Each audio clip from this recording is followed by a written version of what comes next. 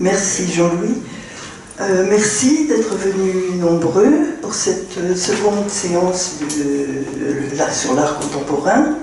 Alors ce soir, nous avons le plaisir d'accueillir une galeriste. C'est Colette Collat, directrice de la galerie Univers, 6 euh, cité de l'ameublement dans le 11e arrondissement. C'est à Fédère-Chavigny, je crois, hein, le métro Fédère-Chavigny. Voilà, c'est une euh, très belle galerie que je vous recommande si vous ne la connaissez pas. Moi, je l'ai découverte il y a quelque temps lors d'une exposition. J'ai été très surprise euh, d'avoir un accueil euh, chaleureux. C'est pas le cas toujours dans les galeries. Et ensuite, euh, j'ai beaucoup apprécié la qualité des œuvres exposées. Donc, euh, quand euh, notre petit groupe a parlé de présenter une galerie, j'ai tout de suite pensé à Colette, qui gentiment a accepté notre invitation. Et nous l'en remercions. Alors, Colette va nous parler ce soir de son travail de galeriste. Elle a beaucoup de choses à nous dire concernant ce travail elle va d'abord nous parler de sa vocation à faire découvrir des peintres, des sculpteurs euh, contemporains. Alors il y a beaucoup de galeries dans Paris, il y a aussi beaucoup d'artistes, et tous les artistes euh, n'exposent pas dans les galeries. Alors euh, beaucoup d'artistes n'ont comme, comme solution que d'ouvrir leurs ateliers une fois par an pour se faire découvrir, mais bon, ça ne suffit pas. Donc Colette euh, essaye de promouvoir beaucoup d'artistes jeunes, moins jeunes. Elle présente aussi des artistes plus connus, comme euh, Pincemin, euh, Titus Carmel et d'autres, bien d'autres, dont tu nous parleras tout à l'heure. Voilà, elle va nous parler de ses relations, des liens qu'elle tisse avec les artistes, de ses relations aussi avec le public, comment s'inscrit sa galerie dans le marché de l'art, comment ça fonctionne, ses difficultés aussi, parce que c'est pas toujours euh, évident de faire marcher une galerie. Il n'y a pas que, que les grandes galeries sur la place de Paris, il n'y a pas euh, que Templon, Gagosian, Perrotin, il y a aussi des galeries de taille moyenne et des galeries plus petites qui ont besoin de travailler, de vendre des œuvres présenter des artistes. Voilà, c'est ce que Colette fait avec beaucoup de conscience et voilà, je vous recommande donc cette galerie et en attendant, je ne vais pas monopoliser la parole, je la laisse à Colette. Voilà Colette, à toi. Merci, merci Betty, merci monsieur. Et d'abord, je, voudrais vous, vous remercier tous pour, euh, pour le travail que vous faites ici, enfin l'Université populaire. Je trouve ça magnifique. Moi, c'est la première fois que je viens. Je suis euh, forcément un peu émue, mais j'espère que vous serez indulgents. Voilà. Donc, euh, je dirais même avant de commencer, j'aurais aimé vous poser une petite question. Combien fréquentent les galeries? Je dirais au moins une à deux fois par an. Voilà, si vous pouvez lever la main pour avoir un peu une idée. Ouais, donc public quand même averti. Et qui n'a jamais mis les pieds dans une galerie? N'ayez pas honte, ça arrive, j'en vois tous les jours. Donc, euh, formidable, formidable. Bon, donc on a affaire à des connaisseurs. Hein. Ça fait plaisir.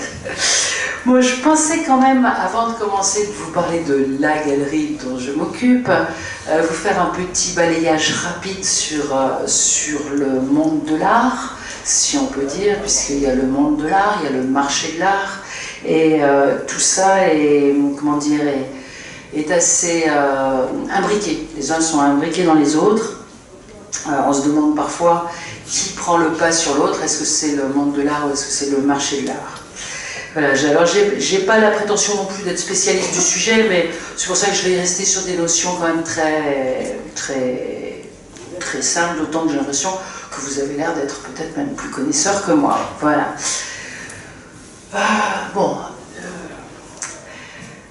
la première chose, bien sûr, c'est le musée. Le musée, c'est le lieu de prédilection des visiteurs. C'est là qu'on va tout découvrir. Le commissaire d'exposition qui va faire un choix. Alors, il faut savoir que tout, que ça, de la galerie au musée, est une question de point de vue. Et je pense que le, commissaire d'exposition dans un musée va imposer un point de vue finalement, choisissant une période du travail de l'artiste, faisant une rétrospective, une thématique. Mais il est certain que quand on choisit dans un musée national au milieu d'une œuvre immense, on prend un parti et on présente ce qu'on veut, ce qu'on veut présenter. Et quand on est dans un musée national, je dirais qu'on rentre déjà dans l'histoire. Donc c'est la consécration, c'est l'histoire. Euh, les musées de province, eux, font un autre travail et présentent souvent des, artistes dans leur, euh, dans leur travail un peu plus quotidien. Mais euh, voilà, le, musée national, je pense que c'est quand même le must dont rêvent absolument tous les artistes. Au départ, effectivement, Betty, Betty Petit-Fils le, disait tout à fait justement, la première façon pour un artiste de montrer son travail, c'est son atelier c'est les portes ouvertes. Vous avez sans doute euh, fait le tour peut-être les uns ou les autres des portes ouvertes euh, dans, tous les quartiers. Il y en a, il y en a partout. Euh, mais il n'y a pas de filtre. C'est-à-dire que là, il met ses œuvres, il les montre telles quelles, généralement un travail récent, et il fait ce qu'il peut avec, avec un contact direct avec les gens. Donc c'est très sympathique, mais ça reste à l'intérieur de l'atelier, ça ne sort pas de là. Et je dirais que pour l'artiste, c'est bien. En général, ils le font souvent en début de carrière ou euh, passé un certain stade, ils sont contents de pouvoir montrer leur œuvre avec un peu plus de distance et avec des filtres en fait, avec des gens qui vont avoir euh, euh, fait un travail pour eux. Alors, je parle des artistes que je connais, bien évidemment. voilà, il y a peut-être des artistes qui toute leur vie vont montrer en portes ouvertes, mais je ne suis pas sûre que ce soit le rêve de l'artiste. Donc entre les deux, après, vous avez tout. Vous avez la FIAC, vous avez les foires, vous avez les salons, vous avez les ventes aux enchères, vous avez les festivals, vous avez les ventes chez des particuliers, euh, les privés qui vont euh, louer un château pour exposer un copain. Euh, il y, a mille et une façons de montrer de montrer, de montrer l'art. La galerie, elle se situe là au milieu, et là aussi, vous avez des milliers de sortes de galeries. Vous avez, peut-être pas des milliers, mais il y a les galeries qui sont très marchandes, c'est-à-dire qu'ils vont, ils vont vendre des œuvres, c'est-à-dire qu'ils vont essayer de monter la cote de l'artiste. Donc pour ça, vente aux enchères, essayer de les mettre dans des musées. Le musée étant quand même là encore la meilleure façon de faire monter la cote d'un artiste. Donc entre le culturel et le marché de l'art, c'est une, euh, je dirais que c'est il y, a, une histoire haine-amour assez, euh, assez importante. Voilà. Alors, après, effectivement, euh, on parlait, il y a une douzaine de galeries. Si on, revient sur la galerie, il y en a une douzaine à Paris qui tiennent le haut du pavé. Euh, il y a Gagosian, effectivement, Le Long, Templon, euh, Kamel Menour, euh, Denise René, etc. Tous dans des genres différents, qui montrent ou des expositions, ou alors qui sont plus, plus orientés sur l'œuvre de l'artiste, et dont le but est de faire, enfin, je, m'avance peut-être en disant ça à leur place, je dirais que de fait, de fait, ils ont des œuvres qui dépassent généralement les dizaines, les dizaines, voire les centaines de milliers d'euros.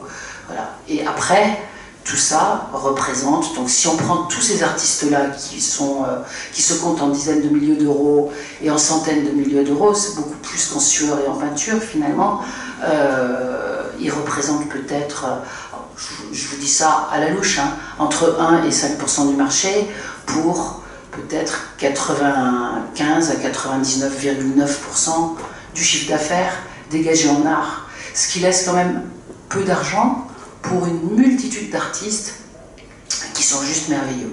Voilà, donc moi je dirais que j'ai quelques artistes connus à la galerie, mais je dirais que j'ai un monde merveilleux avec moi puisque j'ai quand même le choix. Je veux dire, c'est ce qui est formidable, il faut voir le côté positif, c'est qu'il y a énormément d'artistes talentueux qui ne sont pas, euh, qui, ne sont pas arrivés à se hisser dans ces douze galeries.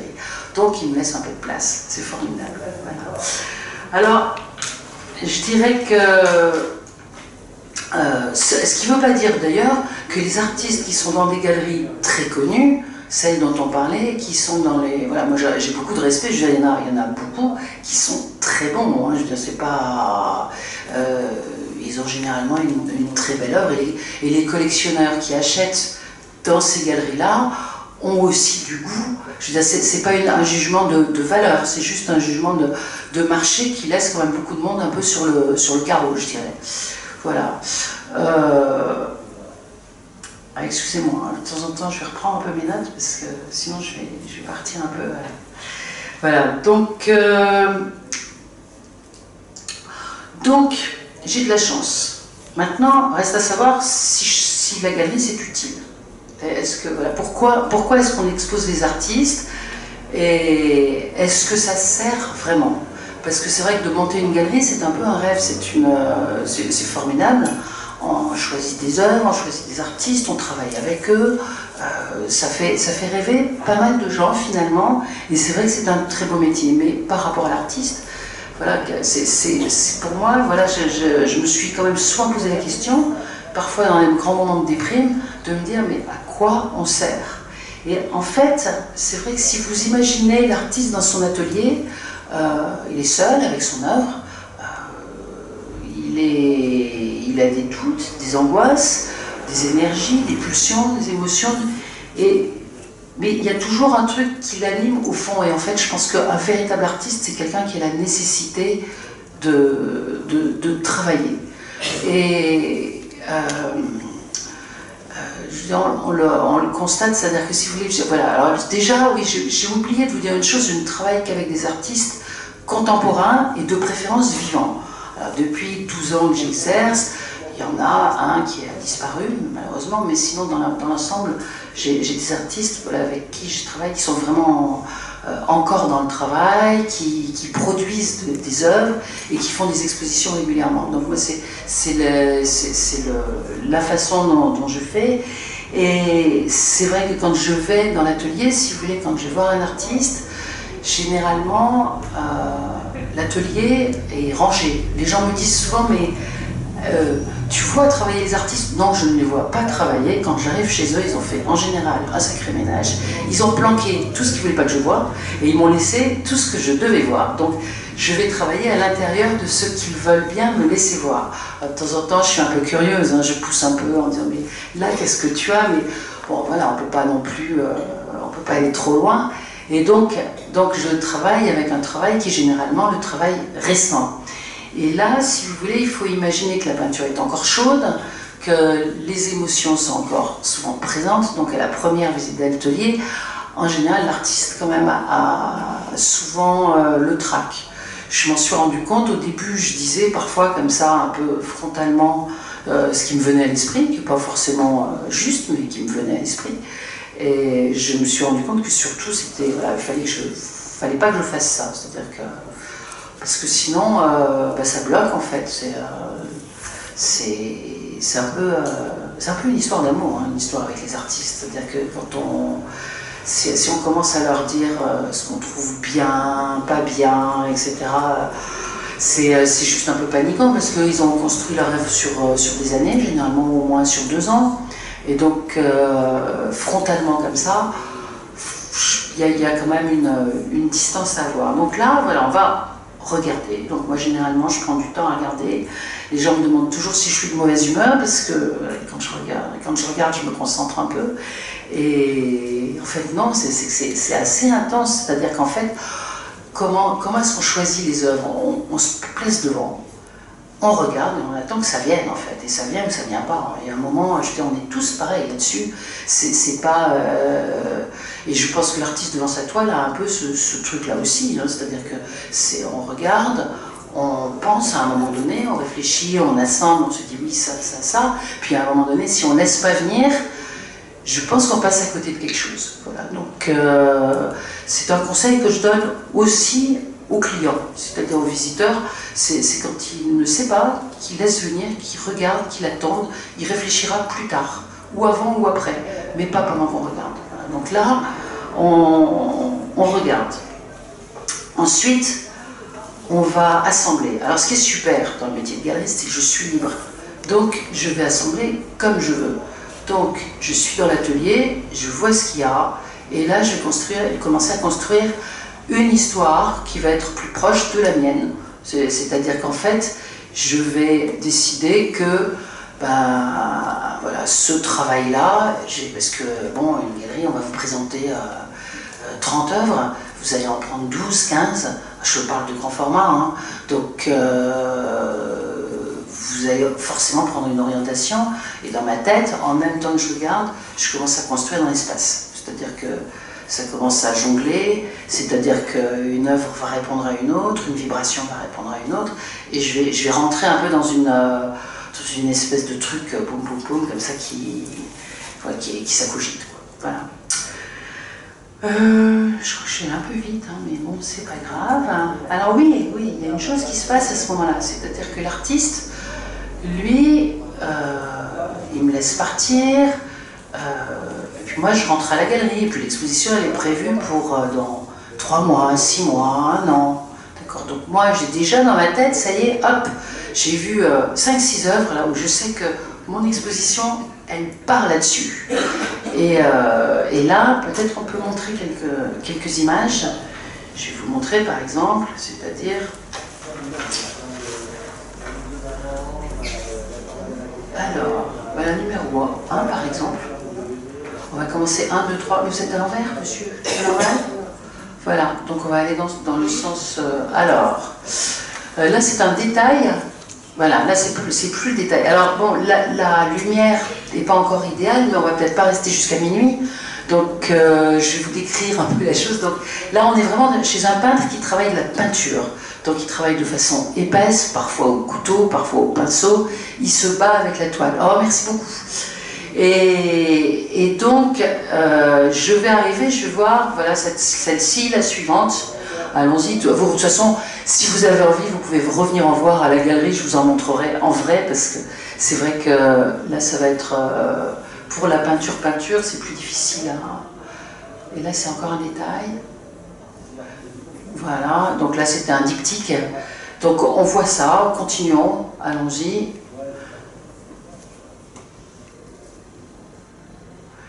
Et puis, admettons, alors c'était pas tout à fait celle-ci que, que j'ai vu la première fois que je suis venue, mais en même temps qu'il vous montre ça, vous voyez que dans un coin d'atelier, il a ça. Et là, vous vous dites, oh là là, les paysages, qu'est-ce que c'est beau. Il va bien falloir faire son choix et partir sur la première série. Donc je vais quitter l'atelier en étant, mais vraiment hyper frustré. Voilà, donc ça c'est un peintre du Nord qui s'appelle Marc René, qui est toujours à la recherche de la lumière. Euh, il faudrait qu'il y en ait moins, mais c'est pas grave. Et donc, euh, donc, euh, donc Marc, moi ça fait, euh, j'ai dû lui présenter déjà trois ou quatre expositions. c'est un artiste, et après celle-ci on fait une petite pause. C'est un artiste que je suis beaucoup. Donc voilà, ça c'était la dernière exposition sur le paysage. Donc il faut imaginer que la peinture est assez épaisse, qu'on voit la lumière apparaître vraiment systématiquement de loin, et que c'est une peinture qui ne se donne pas comme ça, qui va se prendre pour le coup vraiment lentement. C'est-à-dire que si vous venez à la galerie, que vous voulez voir des peintures comme ça, il faut que vous preniez un peu de temps. Ça ne se regarde pas en 5 minutes.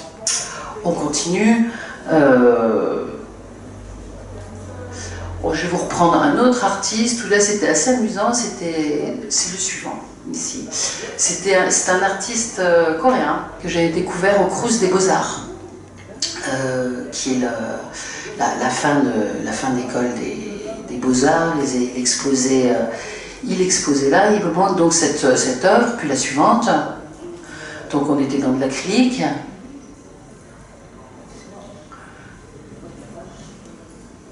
Voilà, et donc il me montre ces deux œuvres et euh, d'autres encore. Et là, il y en a une troisième que je vois sur le mur. Et je me dis, écoute, ça, pour moi, c'est un peu difficile. Je pense que j'avais tort d'ailleurs, parce que plus je la vois, je me dis qu'elle est peut-être pas inintéressante. C'est une œuvre qui est en résine, que je trouvais extrêmement dure, et tout le reste c'était sur l'identité, sur la, sur, la perte d'identité en fait, et, euh, et, sur comment on retrouve son identité.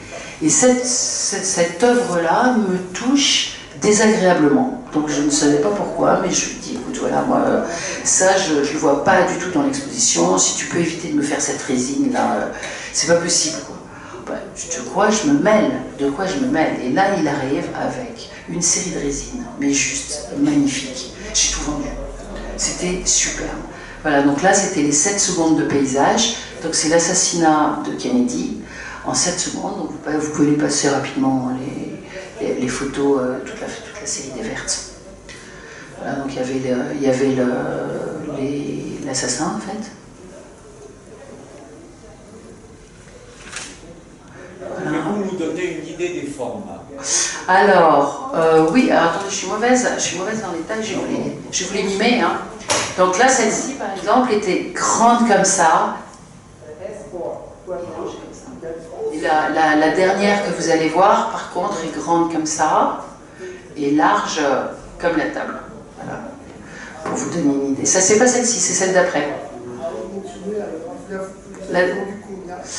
Ah, Oh là là Alors oui, mais alors ça c'était, vous me posez une, colle parce que c'était il, y a quand même maintenant euh, 10 ans.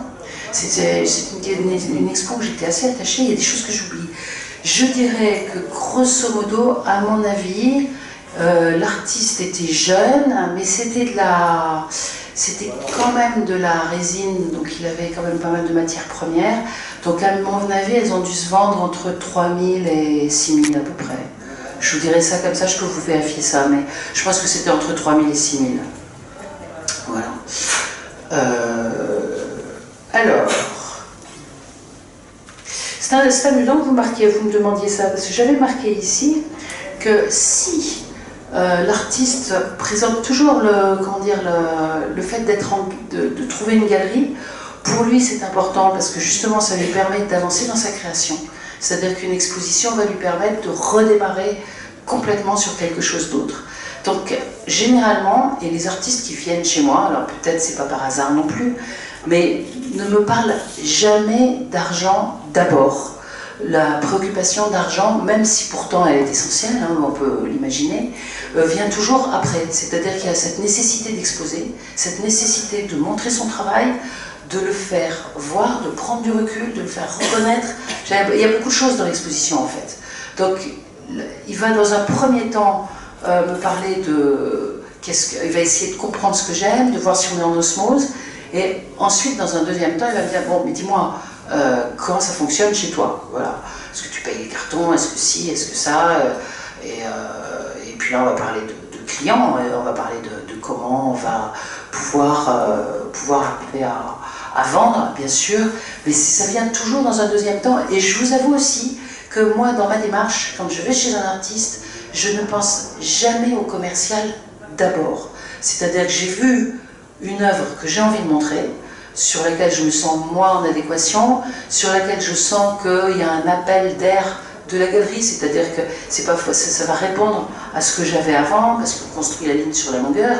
Et donc, à partir de là, je vais aller dans l'atelier, je vais choisir la base de mon exposition, et dans un deuxième temps, je vais dire, bon, ok, alors d'accord, on a ça maintenant, mais qu'est-ce qu'on va montrer? Et là, je lui dis, écoute, il faut que tu me trouves, euh, t'as pas des petits formats, t'as pas des papiers, t'as pas ci, t'as pas ça. euh, ouais, puis attends, celle-là, elle est quand même chouette, on la met, écoute, on, on la mettra peut-être pas sur le mur, on va la mettre à côté, mais c'est vrai que moi, je connais, mon, je connais mon public, je connais mes clients, je sais ce qu'ils aiment. Donc après, je vais, je vais travailler, après en me disant, bon, ok, maintenant il faut qu'on gagne des sous, mais si, si je commençais en me disant, on va gagner de l'argent tous les deux, on va mettre ça sur les murs, c'est fini. Je dis, on vend pas des petits pois, quoi. On n'est pas dans, une démarche comme ça. Et en tout cas, moi, ça m'intéresserait pas beaucoup, je crois. Donc, en fait, je travaille et j'espère toujours, je dirais comme l'artiste, que le, fruit de notre travail va tomber euh, euh, pas par miracle, mais par- parce que c'est bien, quoi. Donc, on part, euh, on a de l'ambition, en fait, je pense. En fait, c'est ça. Je crois que c'est une forme de, on y croit, on a de l'ambition, on avance. Alors euh, après, c'est vrai, pour enchaîner sur le sujet, il y a le faire savoir et la communication. Donc là, par exemple, euh, là, il va, y avoir, il va y avoir un vrai travail de fourmi. C'est-à-dire qu'entre l'Internet, qui nous bouffe la moitié du temps, si ce n'est plus, parce que maintenant, les filles, euh, les stagiaires veulent être sur Facebook, il faut qu'elles aient euh, l'Instagram, il y a le- les mails, les newsletters, le, le site, les sites sur lesquels Exponote, machin truc, etc., où on trouve tout ça. Donc il faut imaginer que derrière, il y a un vrai travail de fourmi, il faut des images, formater les images, travailler. euh, il y a un travail très très lourd qui prend énormément de temps. Et euh, ça, je ne sais pas si les gens le réalisent tout à fait, parce que c'est vrai que souvent, quand ils vont dans les galeries, ils voient les gens derrière leurs ordinateurs, mais c'est aussi parce que l'information, maintenant, est devenue trop prenante. Voilà. Et après, Il y en a qui en rajoutent. Alors moi, chaque fois que je vois j'ai des nouvelles stagiaires qui arrivent, surtout quand elles arrivent des domaines un peu plus commerciaux, me disent Bon, alors dis-moi, en marketing, qu'est-ce qu'on va faire? Alors moi, je leur réponds qu'en marketing, je ne vais rien faire, parce que je déteste l'idée même du marketing. Donc maintenant, si on est avec des artistes, on a une galerie, et qu'on n'est pas foutu de créer quelque chose, et qu'il faut aller répondre à l'envie de monsieur ou madame pour montrer ça ou ça, bah, c'est peut-être pas la peine d'avoir une galerie, hein, finalement. Donc, euh, donc voilà. Euh, mais ceci étant, le, boulot de communication est, euh, vraiment important puisqu'il y a un rétro-planning, il faut qu'on fasse les choses, si vous voulez. Par exemple, là, on s'occupe d'une exposition pour Jean-Pierre Schneider. C'est bouclé pour moi, c'est-à-dire qu'elle est en début septembre, au 14 septembre, tout est bouclé. Là, on va voir Titus Carmel en novembre. Je vais commencer à travailler dessus et je suis en retard. Donc ça vous donne un peu une idée du planning. Et, euh, et voilà, et donc on fait tout pour faire venir le public. Et alors là, si vous voulez, en général, c'est super. On fait un vernissage, c'est beau, euh, les gens sont contents, ils vous félicitent, ils vous disent oh là là, vous faites un travail extraordinaire. Il parle à l'artiste hein, quand il dit ça. Mais euh, voilà, donc ça c'est génial.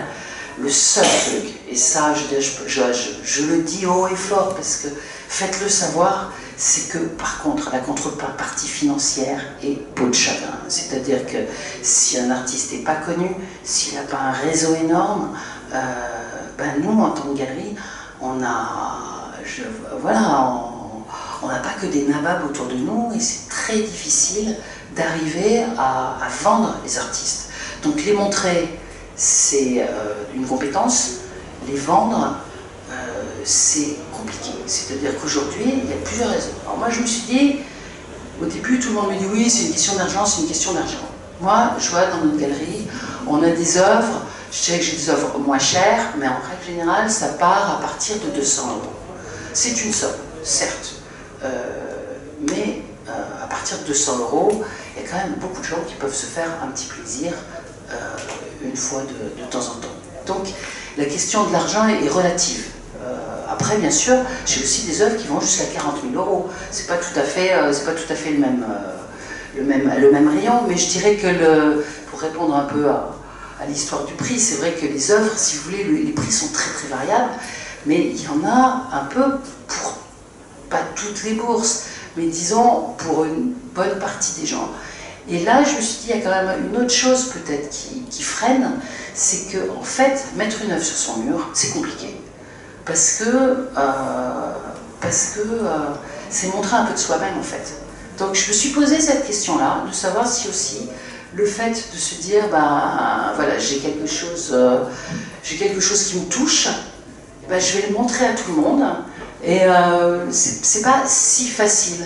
Il euh, y, a des gens qui ne mettent des œuvres que dans leur chambre, par exemple. C'est un truc, c'est amusant. Et puis après, il y a le truc qui, qui tue une galeriste, c'est euh, je vais demander à mon mari ou je vais demander à ma femme. Et là, si vous voulez, en fait, ce qu'il faut voir, c'est qu'on achète avec son cœur, on achète avec son émotion. Alors, bien sûr qu'on est amoureux de l'autre, certes, mais est-ce que pour autant, on a la même façon de ressentir l'émotion? Et là, si vous voulez, c'est un truc, moi je veux dire, c'est à peu près, mais tous les galeristes vous le disent, 80% des fois, quand on dit je vais demander à monsieur, je vais demander à madame, on est foutu. c'est terminé. Donc maintenant, hein, je leur dis, oh, vous ne pouvez pas aimer tout seul quand même. voilà, mais bon, euh, donc mon boulot à moi, c'est d'essayer d'apprendre à décontracter les gens sur le sujet. Alors à Noël, par exemple, on fait des petits trucs, à partir de 80 euros, je demande à des artistes qu'ils fassent des petites choses, donc on arrive... Voilà, petit à petit, je pense que dans mon travail de galeriste, et ça c'est très personnel parce que je ne pense pas qu'il y ait beaucoup de galeristes qui pensent comme moi, j'estime que tout le monde, à un moment donné, doit pouvoir atteindre ce plaisir de pouvoir s'offrir quelque chose. Donc ça, fait partie j'embête un peu les gens en disant mais si vous allez craquer, vous allez craquer. C'est vrai, parce que j'y crois en fait. Je pense qu'après, c'est rare que les gens reviennent me voir en disant oh là là, dis donc, tu nous as fait acheter un truc, on est, on est malheureux. En général, on est content une fois qu'on a quelque chose chez soi. Voilà, donc, euh, donc la vente qui n'est pas aisée. Mais bon, euh, ça met du temps, une galerie, ça met... À l'époque, on disait qu'avant 92, il paraît qu'il fallait 3 ans pour faire son... pour, démarrer une galerie. Moi, quand j'ai ouvert, c'était euh, coup de bol, j'ouvre en 2006. On m'a dit, oh, il va te falloir 5 ans. Je suis tombée sur 2008, 2009, 2010, 2011, 2012. j'ai commencé à aller à peu près correctement, je dirais, c'est-à-dire à être euh, à peu près équilibré, euh, à respirer un peu au bout de 10 ans. Donc, c'est quand les gens me disent, mais quand est-ce qu'on monte une galerie Je dis, bah écoutez, vous travaillez toute votre vie, puis vers 45 ans, vous faites comme moi, vous commencez à y réfléchir, parce que là, vous aurez un peu de sous de côté, vous pourrez faire quelque chose. Mais sinon, c'est vrai que euh, monter une galerie, c'est un. Comment dire C'est pas. C'est pas. Pas un cadeau, hein, parce qu'il faut pouvoir tenir quand même sur la longueur. Euh, je ne veux pas couper les ailes de ceux qui veulent faire. Hein. S'il y en a qui veulent des conseils quand même, je suis là, hein, ça va être plaisir. Alors, notre, la galerie, la nôtre, en fait, je dis la nôtre parce qu'on l'a appelée Univers, parce que quand on a ouvert la galerie, tout le monde demandait mais comment va-t-elle s'appeler? Moi je disais, bah écoute, euh, tu sais, ça sera un univers comme ci, mon univers comme ça, l'univers de machin, le truc, etc. Il dit, bah t'as qu'à l'appeler univers, au bout d'un moment, ça serait quand même plus simple. Donc ça s'est appelé univers. Et puis avec le temps, j'ai eu des artistes qui ont travaillé pour moi, dont un graphiste qui avait été directeur de dans, la pub et qui me dit Mais tu sais, Colette, euh, tu n'y arriveras jamais. Un truc qui s'appelle Univers. Ça s'appelait Univers Espace d'art contemporain. Il faut le faire quand même. Hein. Donc, effectivement, tout le monde rentrait et me disait Ah, comment on peut vous aider? Comment on peut vous aider? Et mon, cet artiste-là me dit Mais les gens, il ne faut pas qu'ils t'aident. Il faut qu'ils qu'ils t'envient et qu'ils achètent. Sinon, euh, tu ne vas pas nous faire vivre. Donc, j'ai dit Ok. Donc, ils m'ont obligé à coller mon nom en disant On achète une œuvre d'art à un artiste, on achète une œuvre d'art à un galeriste. Donc c'est pour ça que mon nom s'est mis avec. Bon, ensuite, euh, la galerie, elle, elle s'est faite avec plein de monde.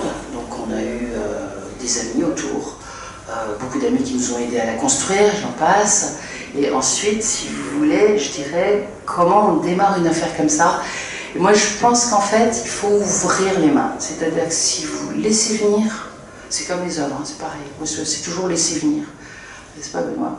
Et, euh, et, donc, donc on, laisse venir, et en général, ça tombe.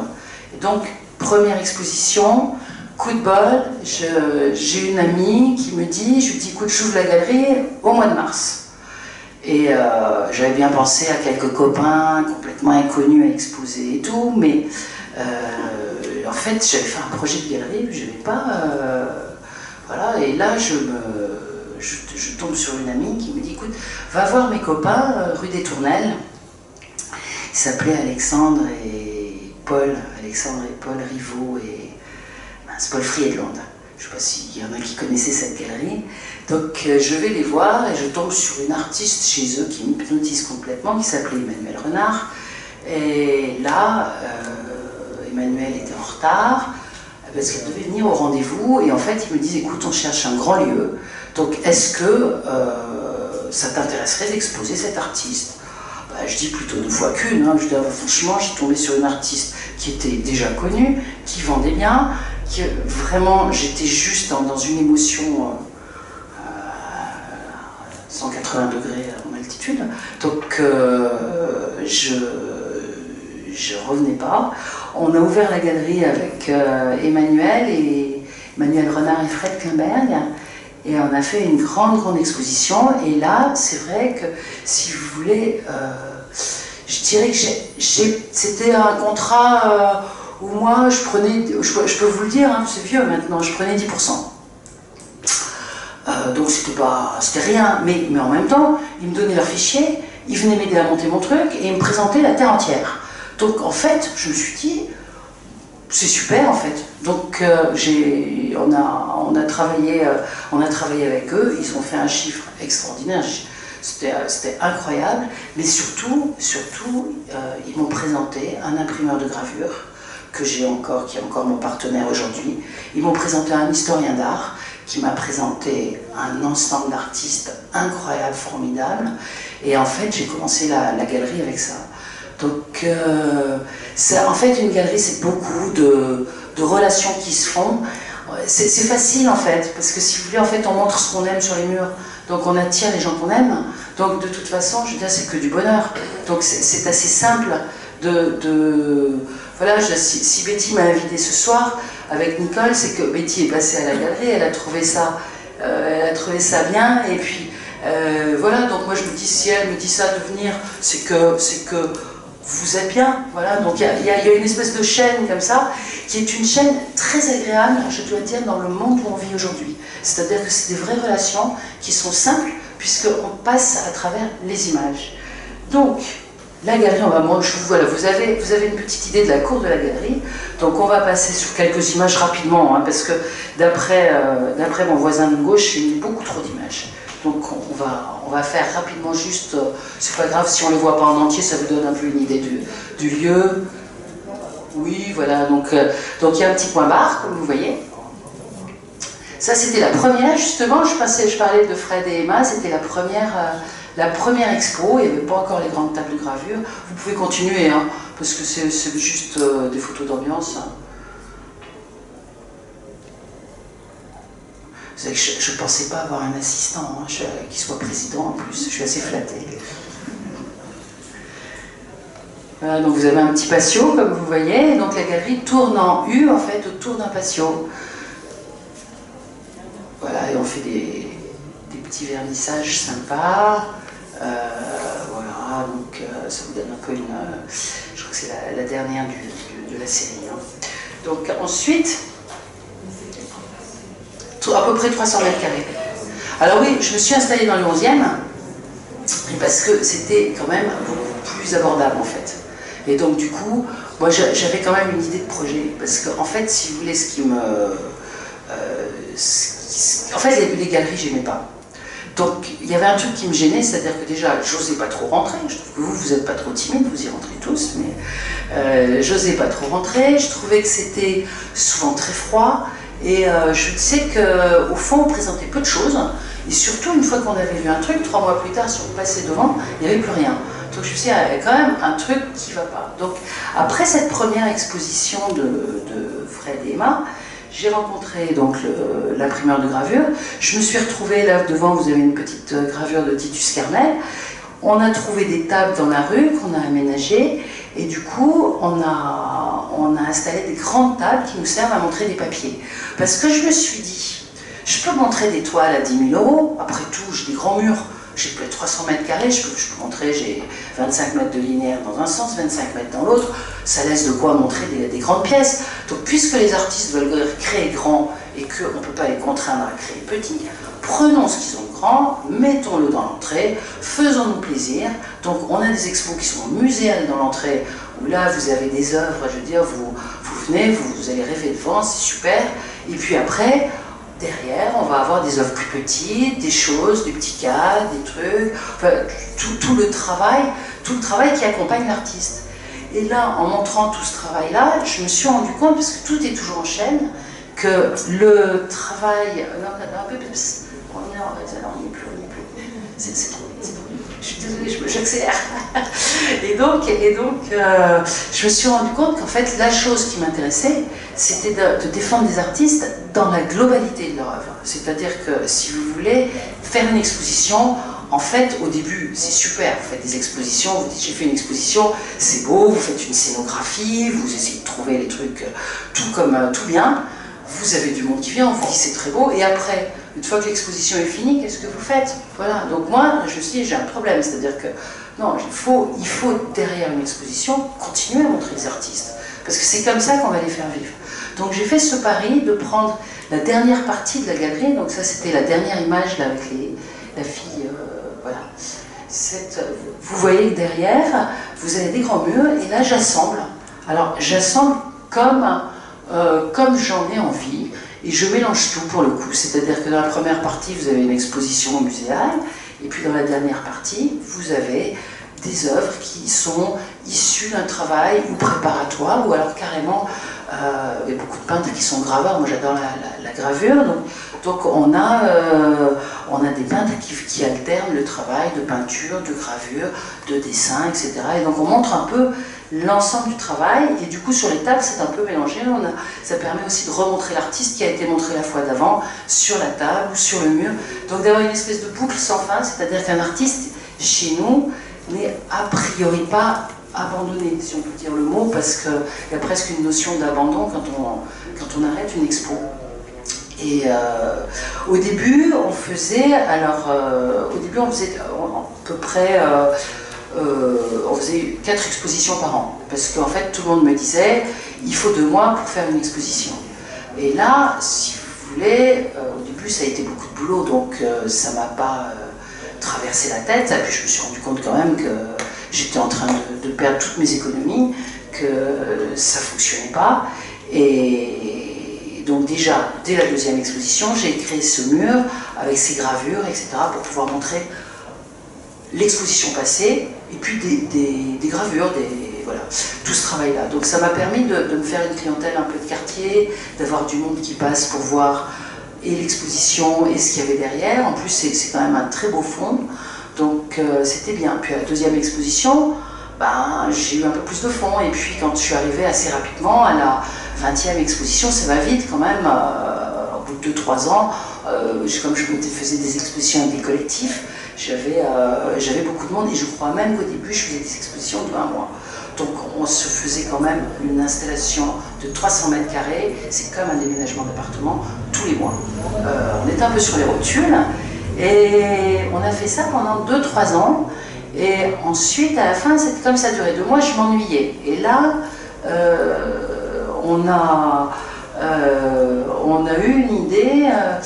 Euh, j'avais rencontré mon, compagnon Benoît qui est là, et on s'est dit tous ensemble, avec ceux qui travaillaient aussi avec moi, et si on faisait, parce que je ne pouvais pas présenter mes artistes non plus, ça, ça posait un double problème, c'est-à-dire que ça durait longtemps, je ne pouvais pas présenter mes artistes parce qu'il n'y avait que 4 expositions par an, et du coup, les gens restaient dans les placards, donc on les mettait bien sur le mur du fond, mais il y a un moment donné, ça devenait un peu euh, un peu léger. Quoi. Donc du coup, on est passé, euh, on a fait une deuxième partie où on a fait des expositions qui duraient une quinzaine de jours, trois semaines ou un mois, selon si c'était vacances scolaires ou pas.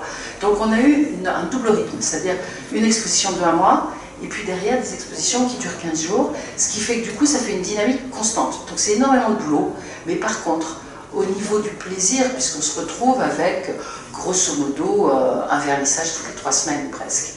Et donc, du coup, on fait installation, on a une exposition qui dure, ce qui fait que les gens viennent, ils ont dans l'entrée une exposition un peu muséale.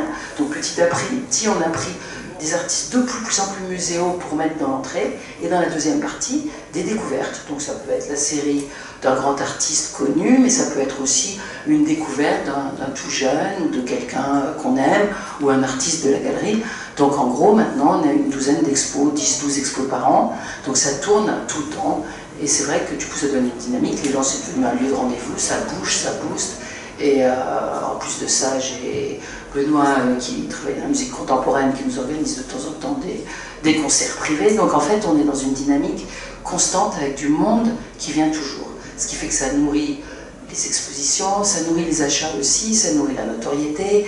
Et surtout, c'est quand même très sympa parce qu'on rencontre quand même beaucoup de gens euh, extrêmement formidables.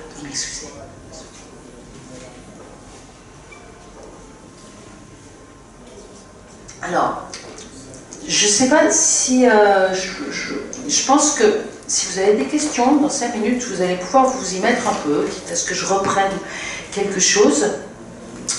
Mais euh, j'aurais bien montré euh, un petit peu comment les choses peuvent s'enchaîner, si vous voulez. C'est-à-dire qu'on a toujours l'impression que quand on voit un artiste, ça va être difficile de montrer quelque chose à côté, en fait.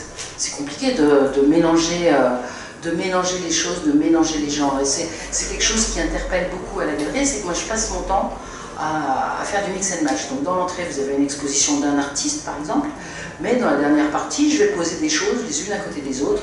Et, euh, donc je me suis dit, peut-être c'était rigolo de voir euh, ensemble comment on peut construire une thématique, par exemple, avec divers artistes. Donc si on prend, par exemple, euh, ah, j'ai oublié un petit paragraphe quand même. Je, reviendrai là-dessus après, je, je puisse tourner sur les photos. Ça, c'était les expositions de street art. Donc, ça a été. Euh, j'ai fait trois expositions de street art euh, qui ont été orchestrées par VLP, Vive la peinture. Je ne sais pas s'il y en a qui connaissent Vive la peinture.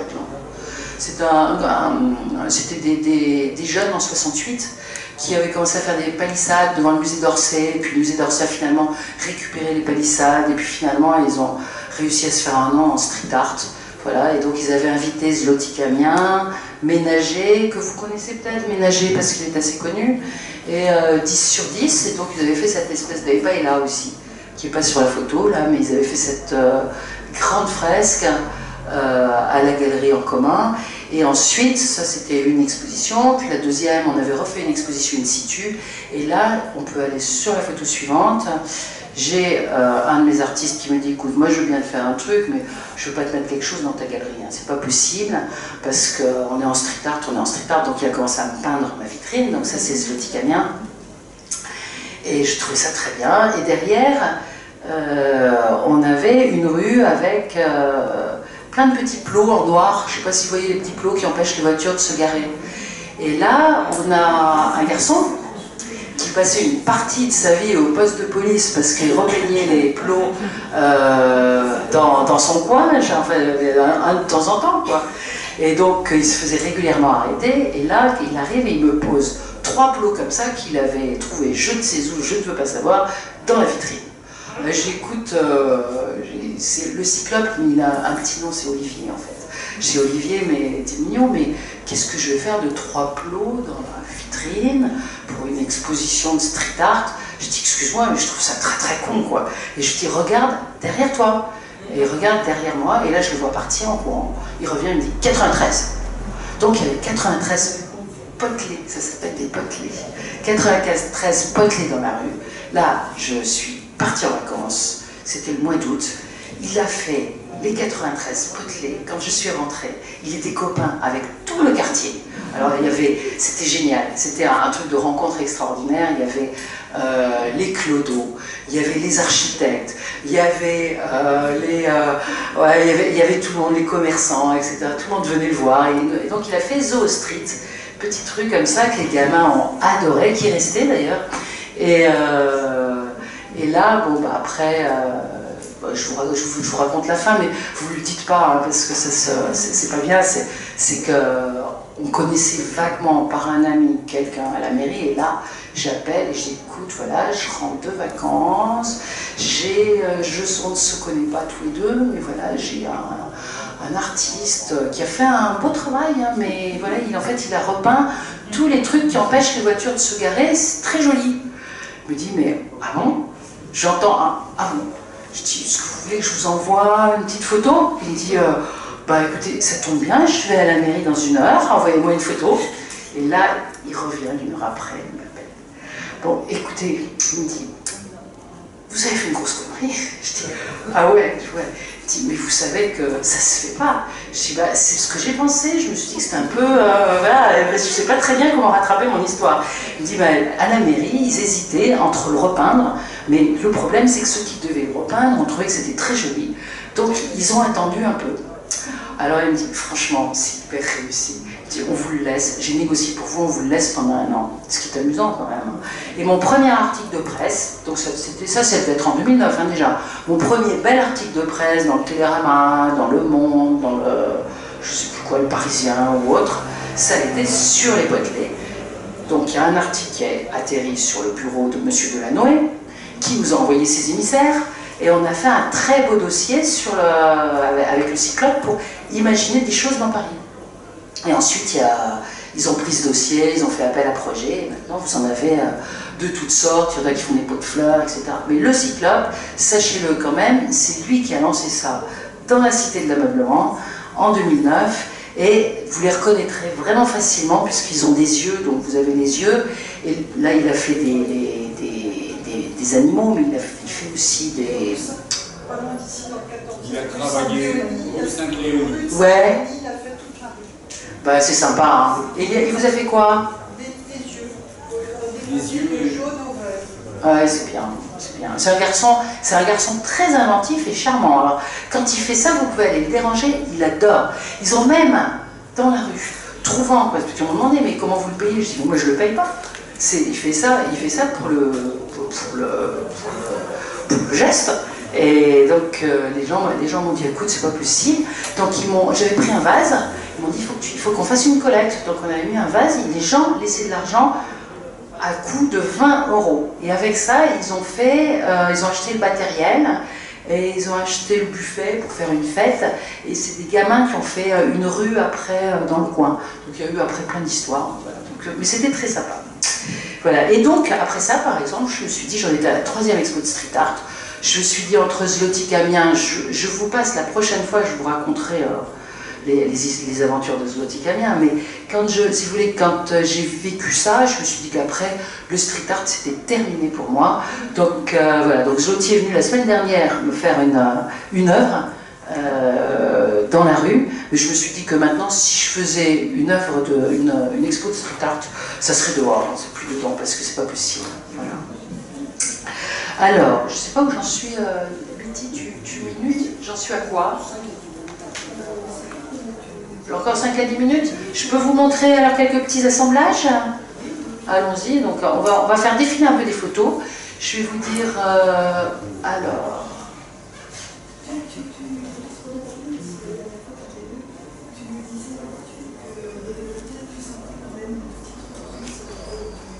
Ah oui, oui, moi je trouve qu'on va mieux. Alors bon, tout le monde ne va pas dire ça, hein, parce que ça ne se fait pas de le dire, mais en tout cas, moi, les gens qui viennent me voir vont mieux. Et en tout cas, ils me disent pas qu'ils vont mal. Voilà, parce que pendant, c'est vrai que pendant des années, et euh, je dirais euh, longtemps, hein, j'ai eu, euh, j'avais des gens qui rentraient en me disant oh là là, qu'est-ce qu'on va mal, qu'est-ce qu'on va mal. Une galerie, c'est bien, c'est comme la météo. Hein. Quand vous arrivez, vous savez s'il fait beau ou pas dehors, parce que on voit les gens, les gens regardent avec plus de bonheur aujourd'hui.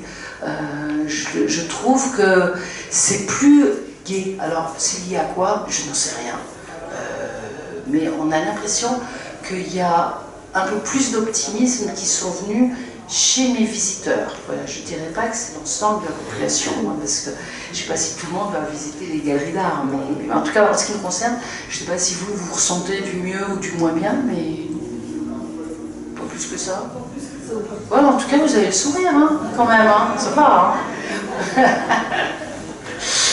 voilà. Alors après, donc euh, là, voilà, je, vais vous montrer des assemblages très différents, mais je crois qu'on en a sauté. Euh, non?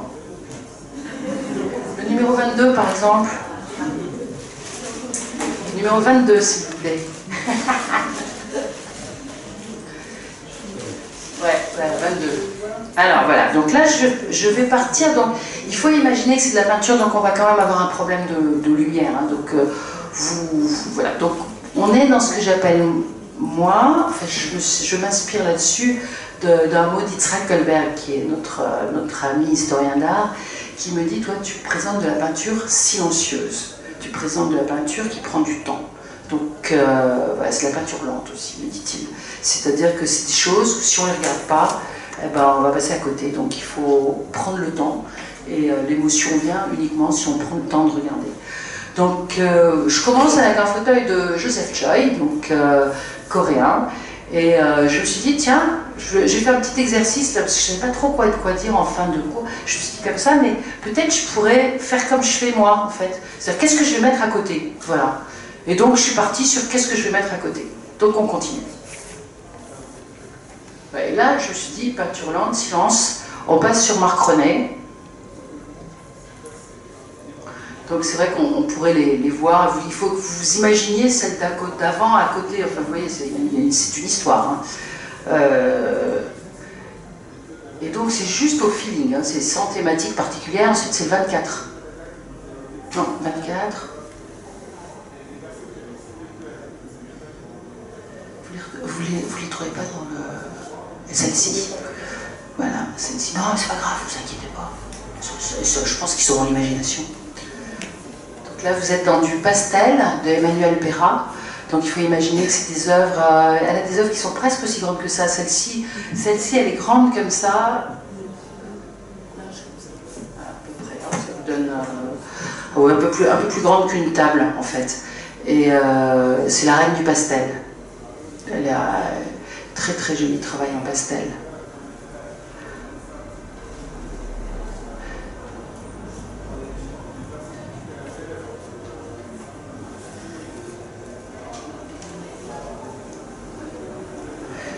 Donc 24, on doit être au 25, non peut-être Par exemple. Allons-y. Oui, voilà. Donc là, on est sur un autre, euh, sur un dessin, de, sur une peinture qui est grande, donc qui fait un peu plus d'un mètre sur un mètre, euh, de, de Raphaël Pia. Voilà, donc ça c'est de la peinture sur soi en fait. Voilà, donc elle a travaillé sur les mers, essayant plutôt de. Je peux juste la revoir une seconde, non? Essayant plutôt de, saisir, je dirais, le mouvement que le paysage cette espèce de, reflux de mer, etc. Donc elle avait des très très belles marines comme ça. Voilà. Et ensuite, a terminé sur 25, euh, le 25, 25. Voilà. Le marinette Queco. Donc ça c'est des herbes. C'est très bien que vous nous montriez le détail, comme ça vous avez vu, c'est des herbes qui sont nouées. Donc voilà, donc je me suis dit, tiens, voilà, je, me suis dit, tiens, le silence, voilà, l'absence, le silence, le calme, je crois ça. On continue. Alors là, euh, vous allez avoir. Alors, on est donc, puisqu'on a fini sur Queco, je me suis dit, bah maintenant, si je commençais sur Queco, vous voyez, c'est presque comme un petit jeu, qu'est-ce que je vais mettre à côté pour travailler dans l'esprit support-surface Je ne sais pas si vous connaissez un petit peu le mouvement support-surface. J'ai pas besoin, est-ce qu'il y en a qui ne connaissent pas? Bon, euh, rapidement, hein, et là, encore avec des mots très simples. Hein. C'est-à-dire que support surface, c'est des, mouvements qui ont, dû apparaître dans les années 70. La, la forme est déjà la peinture. C'est-à-dire qu'en fait, on va commencer avec le support, et le support fait déjà partie de l'œuvre. Et à partir de là, on va, pas on va travailler la peinture pour la peinture et non pas avec euh, la En fait, c'est le sujet, la peinture. Donc en fait, on va travailler, si vous voulez, sur, sur l'intégralité du support, généralement, et on va, euh, on va naviguer à l'intérieur. Et là, vous avez, quelques artistes qui vont vous montrer ça très bien. Vous voyez, ça c'est Marinette Cueco, donc c'est des racines de tilleul. C'est une petite œuvre qui grande comme ça, hein, donc il faut imaginer. Voilà, donc on va passer du plus petit euh, au plus grand, donc on voit bien le, détail. Donc marinette, racine, racine de tilleul, donc travailler presque en support euh, surface. Ensuite le 26B, ouais, télo. Télo, ça c'est une petite gravure, voilà, qui est travaillée, euh, pareil, vous voyez cette histoire du paysage qui circule comme ça, où on, cherche, on, va, on part à l'aventure.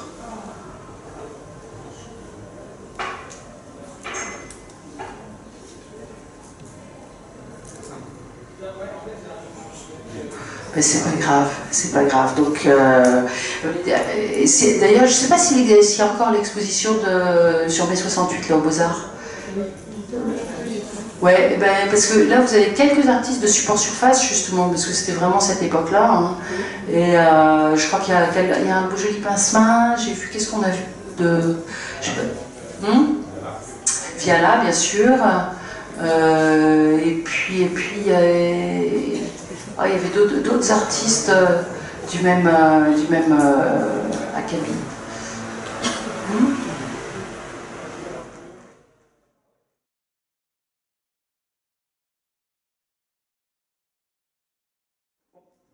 Alors, ben, moi je vous propose un truc. On continuera tranquillement le temps qui retrouve. Si vous avez des questions, déjà, on peut. Je, je crois que je suis ça marche là, oui.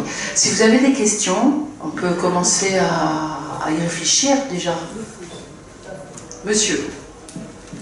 quelle est votre euh, situation par rapport euh, au point de vue réglementaire, au point de vue institutionnel, par rapport à la concurrence Parce qu'on voit des fois des expositions dans des agences de vente, dans des restaurants, dans des hôtels, etc.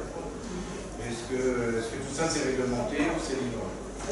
Alors, ben, c'est une bonne question parce que c'est vrai que, le, je, à ma connaissance, il y a très peu de réglementation sur tout ce qui est, euh, tout ce qui est dans le domaine artistique. Par exemple, j'ai essayé de rédiger des contrats avec des artistes au départ. Je me suis, tous ceux avec qui j'ai rédigé des contrats, je me suis fâché. J'ai dit j'arrête de, rédiger des contrats, je ne me fâche plus avec eux.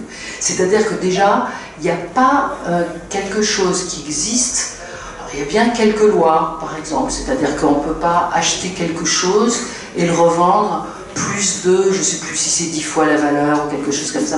On ne peut pas faire une culbute, par exemple. Il y a eu une histoire comme ça il n'y a pas longtemps euh, de, de, de, vendre plus cher ou des choses comme ça. Mais par contre, il n'y a pas de contrat. On peut exposer qui on veut, comme on veut. La galerie n'est pas plus protégée de quoi que ce soit. Et il n'y a, pas de, de règles. Hein. les artistes doivent être inscrits quand ils vendent à la maison des artistes. donc là, tous les artistes dont je vous parle, c'est des artistes qui sont a priori inscrits à la maison des artistes, qui ont un métier et qui parfois en ont un deuxième à côté. Voilà. Mais il n'y a pas de réglementation à ma connaissance sur quoi que ce soit.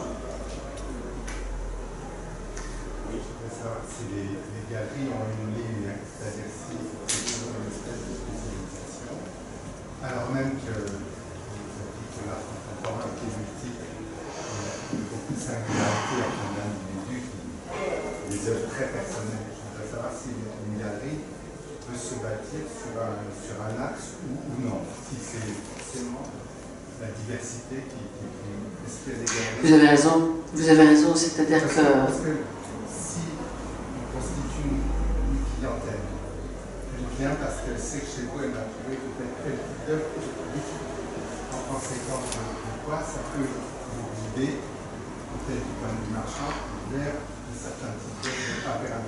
Alors, effectivement, les galeries, je pense, ont toutes des lignes.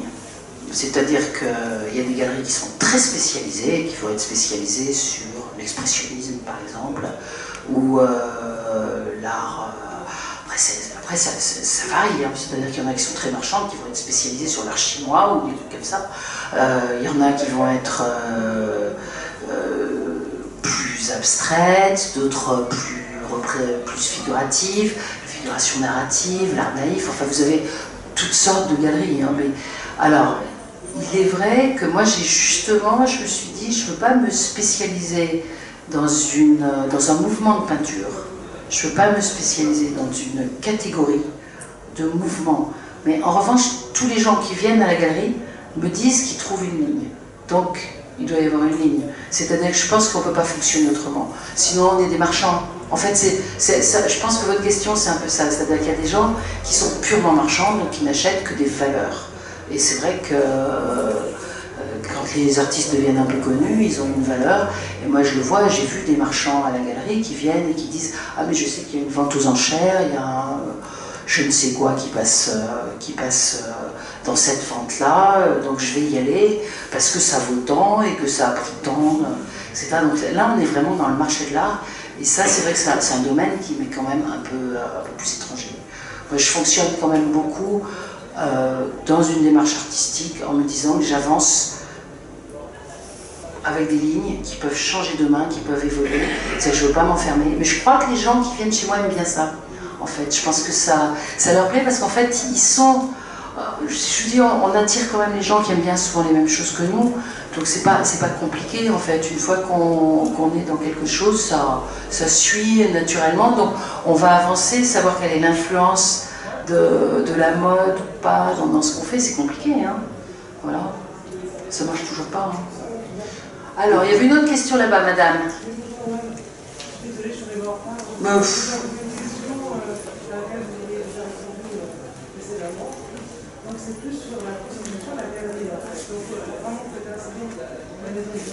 Non, non, non, une galeriste, une alors il doit, il doit exister des galeries associatives. Euh, donc ça, c'est un, je pense qu'ils doivent se monter en association, ça, doit pouvoir exister. Euh, moi, c'est une galerie commerciale, ça fait, j'ai un registre du commerce, je, suis en SARL et j'ai euh, et, la galerie, la galerie est à l'intérieur de ma SARL. Il y a tous les budgets. en fait, le, premier budget, c'est le local. Voilà. Donc, si si vous avez un, local euh, euh, familial qu'on vous, qu'on vous passe, il y, en a beaucoup hein, d'ailleurs, il y a beaucoup de gens qui ont monté dans un local familial une petite galerie. Je connais, vous, je ne sais pas si vous connaissez la galerie Magda Danis. J'ai une de mes ex-stagiaires qui travaille chez elle, elle a travaillé à 17, elle a monté sa galerie à 17 ans, sous forme de collectif. Donc euh, je crois qu'il y, a toutes les formes, exactement comme une société en fait. C'est un peu comme une boutique. Hein ça, pour, le, coup, si vous voulez, la, partie euh, euh, de la galerie financière, c'est un, peu comme un peu comme un magasin. Les œuvres qu'on a sont généralement en dépôt, donc on n'achète pas les œuvres au départ, les artistes travaillent avec nous et ils nous confient les œuvres. Et euh, qu'est-ce que je peux vous dire d'autre? Mais c'est quand même ruineux, hein Non. Ah bah si, on signe une feuille de dépôt. Ouais. voilà. Oui, c'est ça. Voilà, on a une, euh, il faut prendre l'assurance, il faut, euh, on a une feuille de dépôt. Quand on vend des choses, on, voilà, on les paye. C'est mieux quand même, parce qu'il y a beaucoup de galeries qui mettent du temps à payer. Moi, je sais que ça fait partie des, choses, je pense, hyper importantes. C'est qu'il faut savoir que voilà, mais une exposition, c'est vrai que c'est coûteux, ça dépend ce que vous faites. Moi, j'ai des expositions qui sont coûteuses parce que euh, j'ai une installation, j'enlève tous les murs, j'ai pas de simèse, je perce des trous, je mets de l'enduit, euh, je mets des vis, enfin je mets, je mets, peu moi, mais euh, moi, moi je, voilà, mais non, pardon et chaque fois, ça, ça, c'est vraiment le rêve, ça, c'est que chaque fois, je fais la scénographie, c'est-à-dire que je me mets au milieu et je dis c'est comme ça, c'est comme ça, ça c'est super. C'est génial ça. Ouais. Voilà, oui, pardon, je, m'en. Euh, euh, Est-ce que vous, euh, disiez que vous preniez des dépôts Vous n'avez pas, vous, de politique d'achat? Alors, je vais vous dire, le problème, c'est que. Je, je, je n'ai pas commencé avec des achats, j'ai commencé qu'avec des dépôts, parce que j'avais déjà investi dans ma société, dans mon truc, et que pendant quelques années, j'avais pas, j'avais pas les moyens. Mais je peux vous assurer que dès que j'ai un centime de côté, j'achète. je suis comme tout le monde. Je me laisse, je suis la première à me tenter moi-même. Voilà. Donc, euh, oui. Lorsque vous avez parlé des niveaux d'exposition, euh, les papiers, etc., mais à un moment donné, il faut, il faut qu'il y ait un stock, il faut qu'il y ait une présence. Et je ressens mal euh, la notion de vos artistes, je mets des guillemets, c'est-à-dire l'histoire de la galerie dans, dans son évolution, avec une forme de fidélité, mais vous n'avez plus des œuvres euh, qui ont été en stock, dis stock, et qui ne sont plus, qui sont parties. Elles sont retournées chez les artistes.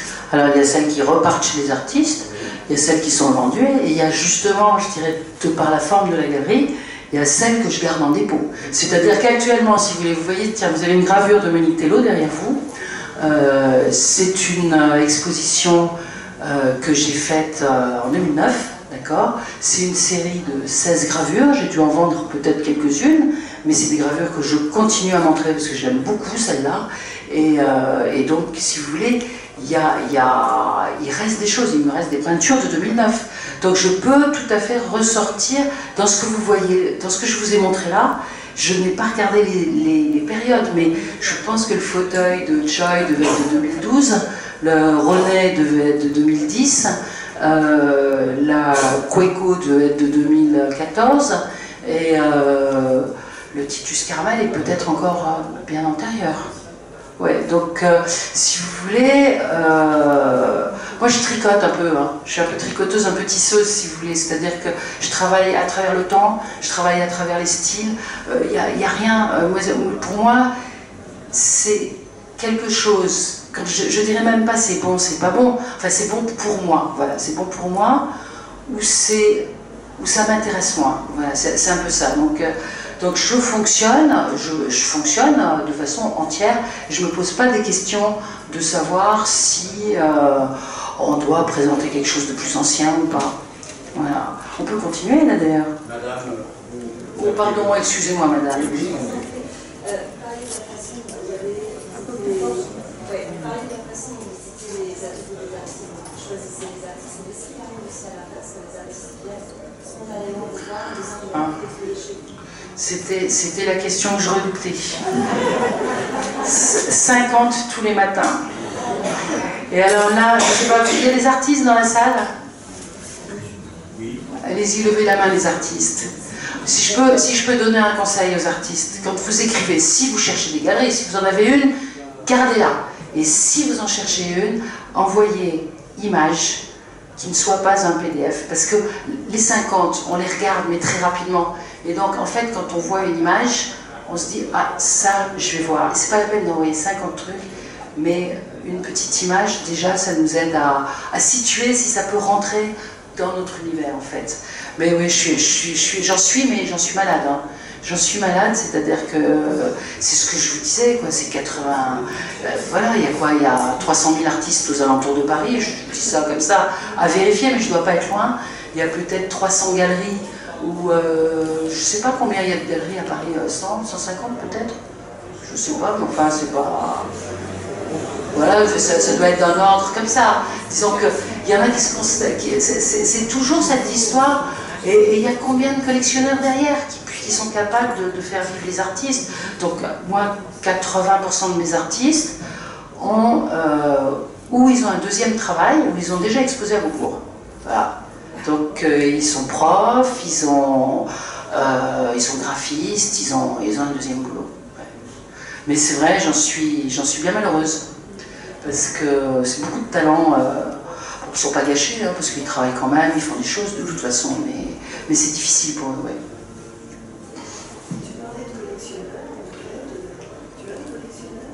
Oui, sur la longueur, oui, on commence à se faire des collectionneurs. Mais euh, je, dirais c'est bête, hein, mais euh, il suffirait, euh, parce que les, vrais collectionneurs achètent beaucoup. Donc si on tombe sur, si on a, allez moi si j'avais 8 collectionneurs, mais je serais la reine. Je pourrais, je pourrais faire des expos, mais somptueuses. Voilà. Donc en fait, voilà. Alors moi je ne vous cache pas que de temps en temps, quand j'ai pas de sous, je loue pour un petit tournage, je vide la galerie. Par exemple, là, on avait fait euh, le Mélanie Laurent euh, on a fait des trucs comme ça. Donc, euh, de temps en temps, je privatise, je fais pour une pub, pour un truc. Je vide tout, ils viennent me faire un truc, ça me fait un flou de 15 000 balles et je peux me payer mes expos pour la, pour la chose. Mais je suis comme, je veux dire, toute cette économie, elle va dans un sens comme dans l'autre. Hein. Les artistes sont obligés d'avoir un deuxième boulot. Nous, pour faire vivre une galerie, on est obligés de faire des choses qu'on n'a pas forcément envie de faire, mais bon c'est pas grave, hein, voilà, c'est pas. On le fait avec plaisir en plus. Versailles et le Louvre le font. oui, en plus. Ouais, ouais, ouais. ouais, pourtant, on les aide bien quand même, nous. Hein. Il y avait madame aussi qui voulait poser une question, non, tout à l'heure. Je me trompe, non? Ah, c'était vous. Pardon.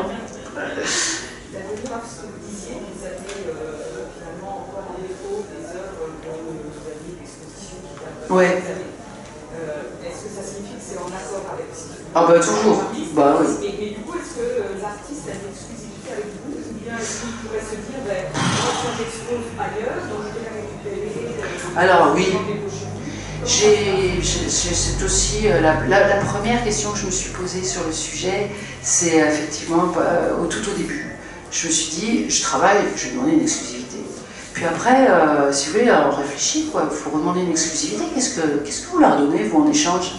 Donc si lui, il n'a pas le SMIG, bah, vous ne pouvez pas lui demander une exclusivité. Donc en fait, on peut donner une exclusivité, faites le calcul, hein, je sais, si on parle chiffres, tout simplement le SMIC, c'est, si, on ne lui donne pas 15 000 balles par an, euh, il ne peut pas vivre 15 000 euros, ça veut dire pour vendre une galerie, elle prend 50% euh, qui, sont, qui sont dépensés généralement pour les expos et tout ça. Donc euh, ça veut dire que l'exclusivité, elle est, elle est pour moi, franchement, elle n'est pas négociable dans ces termes-là. C'est-à-dire, elle n'est pas négociable en termes d'argent. C'est une, euh, comment dire, on va travailler ensemble. Voilà. Donc on va travailler ensemble et on va réfléchir à qu'est-ce qui est mieux. Et donc moi j'ai des, des, artistes avec, j'ai une, histoire très mignonne. J'ai une grande artiste qui est assez connue et je lui fais une exposition et je la vends très bien et elle était contente. Donc euh, elle exposait dans une autre petite galerie, etc. Et un jour elle m'appelle et elle me dit euh, Colette, est-ce que je peux exposer euh, à Quimper, dans une galerie à Quimper Je dis bah oui, tu peux exposer dans une galerie à Quimper. Et bien là j'ai compris, elle m'avait choisi. Voilà. Donc c'est des, belles histoires en fait, cette histoire, ça, ça, peut fonctionner. Je pense que très honnêtement l'exclusivité on peut l'avoir tant qu'on s'investit avec la personne. Si un jour on s'investit plus, bah, c'est même pas souhaitable, parce qu'il y a un moment, euh, on va pas enfermer les gens dans des cages dorées, ça sert à rien. Donc c'est vrai que moi j'ai des exclusivités avec des artistes. J'en ai euh, deux ou trois. Là j'ai une très belle histoire avec Jean-Pierre Schneider par exemple, qui vient à la rentrée. Il travaille avec euh, une galerie qui est super galerie, Berthe Toires. Je ne sais pas si vous la connaissez. Euh, bon, on s'est arrangé avec Michel Berthe Toires, qui est une femme adorable. Ben, Jean-Pierre avait envie d'exposer chez moi. On s'est vus tous les trois et puis on a dit ok, allez, bon, c'est bon. La seule chose, c'est que moi, je vais essayer, euh, voilà, je vais essayer d'être un peu diplomate, un peu de faire attention, voilà, c'est dans son intérêt à lui, c'est dans l'intérêt de Michel et c'est dans le mien, voilà. Donc, euh, je crois que c'est un peu comme le reste de la vie. Hein. Vous aviez une question, Madame, tout au fond? La fiscalité. Euh, est-ce que la fiscalité n'est pas spécialement intéressante pour les artistes contemporains vivants Oui. Alors, c'était encore mieux quand il y avait l'ISF, parce que c'était complètement déduit de, l'ISF. Mais bon, on va pas se plaindre. on, va, va pas le. Voilà, ça, n'existe plus. En revanche, il y a toujours, euh, il y a toujours la défiscalisation sur les entreprises. C'est-à-dire qu'une entreprise qui, euh, une entreprise qui achète une œuvre d'art peut l'amortir en 5 ans en fait. Voilà, donc du coup, ça lui fait une si j'ai bien compris, à la fin, ça lui fait une œuvre qu'elle achète à peu près euh, moitié prix et elle en fait ce qu'elle en veut. Donc c'est une bonne façon d'avoir un fonds d'œuvres dans une entreprise. Voilà. Pour les artistes contemporains. Pour les artistes contemporains. Mais alors qu'avant, sur l'ISF, c'était sur les artistes vivants et morts. Et quand même, si vous voulez, le seul truc, que je reprocherais peut-être au système, c'est que euh, les grosses entreprises ont, ont, intérêt à acheter pour défiscaliser des œuvres qui sont quand même relativement chères. Donc en fait, c'est une aide qui, encore une fois, a été orientée, si vous voulez, imaginons si vous payez, alors aujourd'hui c'est plus le cas de l'ISF, mais quelqu'un qui payait euh, une fortune en ISF, pour défiscaliser, il avait intérêt à acheter une œuvre qui valait au moins 100 000 ou 200 000 euros. Donc nous, on n'est pas concernés tellement par ce marché-là. Donc en fait, c'est un... Comment dire Je ne sais pas s'ils sont vraiment penchés sur la question, mais l'aide aux artistes euh, pas cher, entre guillemets, et euh, pas cher, ça, va euh, de, de 50 à, à, 10 000 euros, je dirais. C'est-à-dire que selon, selon leur âge, ce qu'ils font, etc. Ben, elle n'existe pas vraiment. Il n'y a, a, rien, a rien sur le sujet. Dites-moi. Vous avez des normes de sécurité pour, euh, en termes de vol? Ouais, ouais, on prend des assurances, mais on croise les doigts. Hein.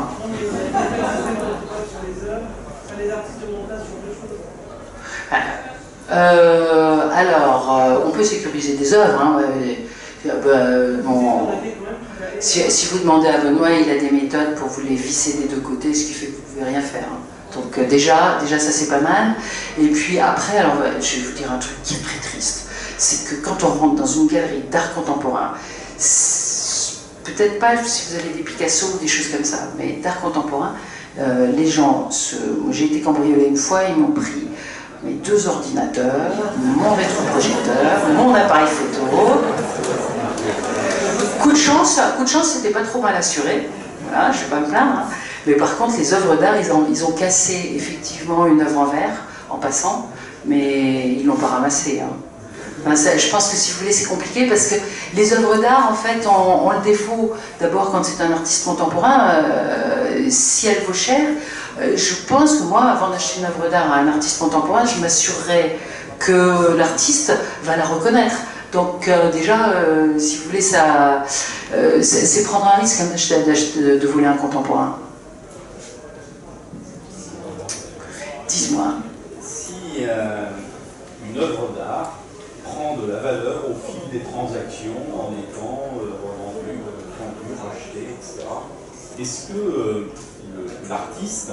Un droit de suite Voilà. Ah, alors, là encore, euh, je n'ai pas été confrontée à ce problème-là, mais je crois que oui. Je crois que ça, je crois que ça existe. Alors, sachez quand même que les photographes sont très bien défendus, beaucoup mieux que les, peintres. Bah, droit de suite, c'est-à-dire que je crois qu'il y a une histoire de petit pourcentage qui va pouvoir euh, se, répartir, mais, mais euh, je ne connais pas, connais pas ce deuxième marché en fait. Je sais que Ouais, alors par exemple, je sais que sur les, chez les photographes, euh, je sais que c'est assez négocié tout ça. Moi, je fais peu de photos, mais c'est assez négocié. Bon, je vous propose que vous passiez les, photos comme ça. Ils feront quelques œuvres au passage. Dites-moi.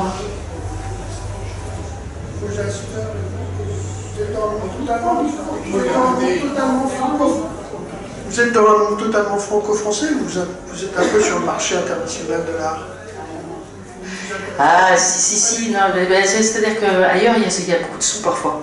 Donc euh, oui, ça m'intéresse, bien sûr, hein, ça m'intéresse. Non, non, mais enfin, on a par exemple, euh, on a un projet au Liban.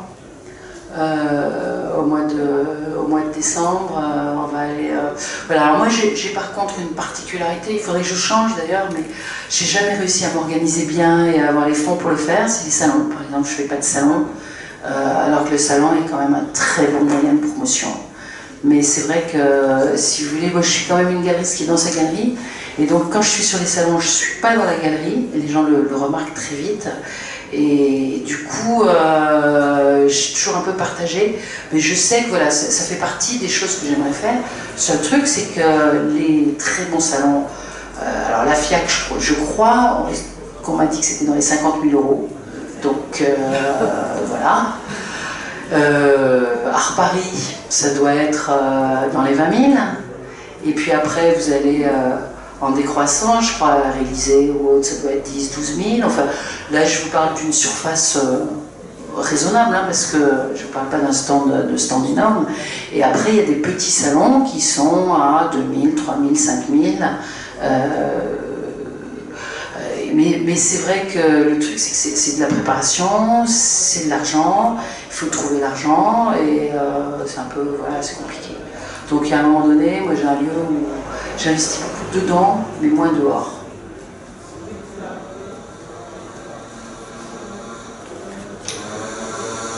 Une question? Alors je, je...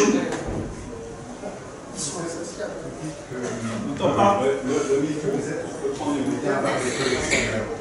Vous aimez bien avoir des collectionneurs qui vous achètent oui, c'est ça important.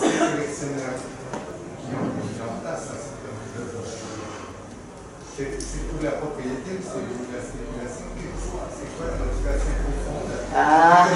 dont vous avez besoin alors, alors, il y a, je ne sais pas, en tout cas, il y a une chose qui est sûre, c'est qu'il y a une forme de jouissance. Ça, c'est sûr. Est-ce que c'est la jouissance de d'avoir, de pouvoir regarder, d'avoir euh, Et écoutez, alors, par exemple, j'en ai un. J'ai un collectionneur charmant qui m'achète, euh, je dirais quasiment une œuvre tous les mois. Euh, il n'achète pas des grandes œuvres, hein, il va m'acheter des choses comme ça, des dessins, des, choses à 200, 300 euros, mais tous les mois, il m'achète, si c'est pas tous les mois, c'est tous les deux mois, je compte pas vraiment, mais enfin, il m'achète tout le temps un truc. Et en fait, je pense qu'il y a une histoire. C'est-à-dire que au début, j'ai pensé que c'était euh, l'instinct de position, mais je crois que c'est pas que ça, parce que je vois la dernière fois, il, fait beaucoup les ateliers d'artistes. Et la dernière fois, j'avais trois artistes, je faisais du dessin, je fais jamais de dessin. Là, j'avais présenté une exposition de dessin, et c'était vraiment des découvertes, c'est-à-dire que oh, voilà, c'était tout nouveau. Et il y avait deux artistes qui connaissaient, et un qui connaissait pas, je crois et eh ben, il était tellement content qu'il m'a acheté une pièce de chaque artiste pour encourager ces artistes à suivre. C'est-à-dire qu'il y a un côté très mécène hein, aussi parfois. C'est-à-dire qu'en fait, il était tellement content qu'il soit exposé qu'il a préféré l'acheter un peu plus cher chez moi. Et euh, peut-être, hein, parce que souvent les artistes font le même prix en galerie qu'en atelier, mais, euh, mais je pense que si vous voulez, c'est un geste militant. C'est pas. Euh, et pourtant, euh, oui, il a 100 euh, Titus Carmel. il, a 100, il m'a annoncé qu'il y avait 100 gravures de Titus Carmel, gravures édito. Non Non, mais elles sont là. Elles sont là. Mais est-ce que vous lisez tous les jours vos livres? Ben voilà, mais c'est pareil, je crois. Je, si vous voulez, je pense que c'est. Alors c'est vraiment, là encore, c'est une question de point de vue. Je pense que c'est. Euh, chaque personne va fonctionner différemment avec les, choses. Alors, oui, alors voilà, vous parlez de valeur, mais euh, lui ne m'a jamais parlé de valeur, ne m'a jamais négocié un prix. C'est-à-dire que cet homme-là, je pense que c'est sa vie en fait. C'est sa vie. C'est, vous savez, vous, avez des gens qui collectionnent les blagues à tabac. L'autre jour, on a vu une, des moulins à café. On a vu euh, une femme qui collectionnait les balances. Euh, et en plus, si vous voulez, c'est des artistes vivants, donc ils rencontrent les artistes, ils ont du plaisir à les voir. C'est un réseau, il se faut une famille comme ça. Mais je, je pense que c'est de la vraie passion. hein. Je crois que son rêve, ça serait d'exposer tout ça. Et j'ai des collectionneurs, il n'y a pas longtemps, qui ont exposé des artistes qui collectionnent. Ils sont venus me voir, me disaient, écoute Colette, voilà, nous on a une collection, on n'a pas d'enfants. C'est les, les Gautier. Euh, les Gautier, Hmm, pardon Ouais, mais c'était pas dans ce but-là, c'était pas dans le même but. C'est-à-dire que les Gautier, ça fait, ils sont instituteurs. Ils achètent des dessins depuis à peu près euh, 30 ans, ils sont, euh, ou 30 ou 35 ans, ils sont à la retraite maintenant. Et donc, ils se sont rendus compte qu'aucun de leurs enfants n'était passionné par les collections. Eux, ils ont toujours acheté aux artistes pour encourager, euh, pour encourager les choses.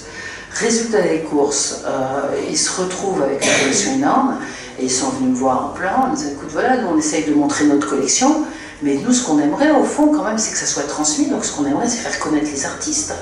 Donc ai proposé, moi, de faire une exposition avec des œuvres qui n'étaient pas chez eux, mais qui étaient à vendre. Et donc c'est une exposition qui a très bien marché.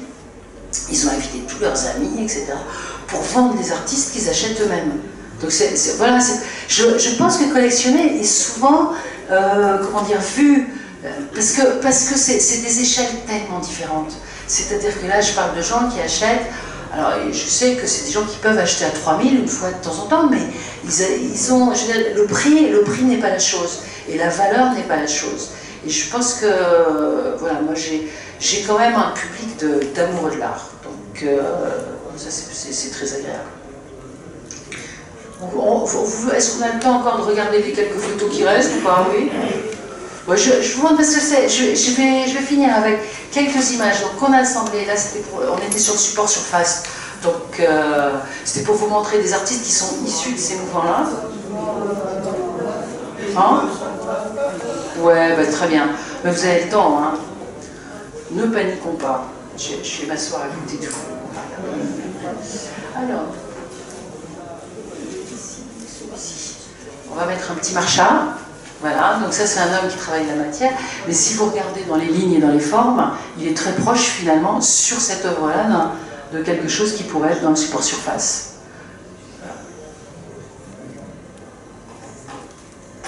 Après, c'est euh, ma vision des choses. hein.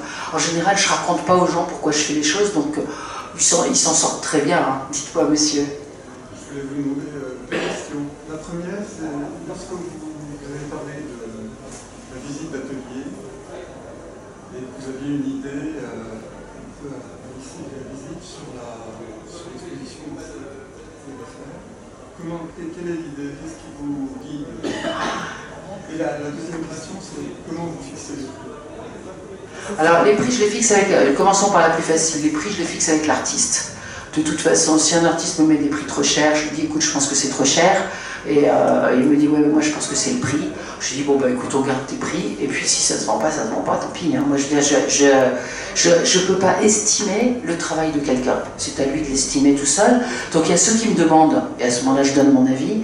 Mais s'ils me ils arrivent, euh, il y en a, ils arrivent et me disent bah voilà, ça, ça vaut, euh, ça, ça vaut 10 000 euros. Je dis bah ça vaut 10 000 euros, ok, voilà, c'est marqué 10 000 euros.